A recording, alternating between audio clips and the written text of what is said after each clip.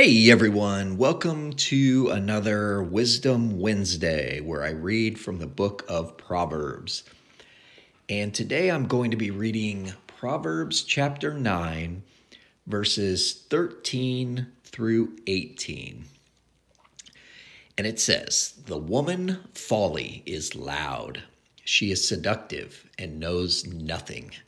She sits at the door of her house, she takes a seat on the highest places of the town, calling to those who pass by, who are going straight on their way. Whoever is simple, let him turn in here. And to him who lacks sense, she says, Stolen water is sweet, and bread eaten in secret is pleasant.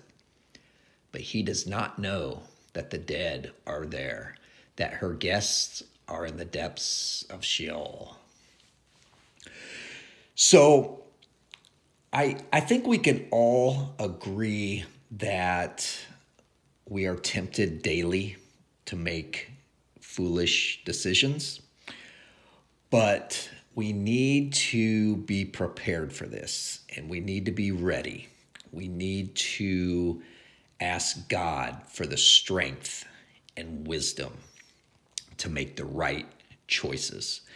Because if we choose to be foolish, it will lead us down a road to ruin.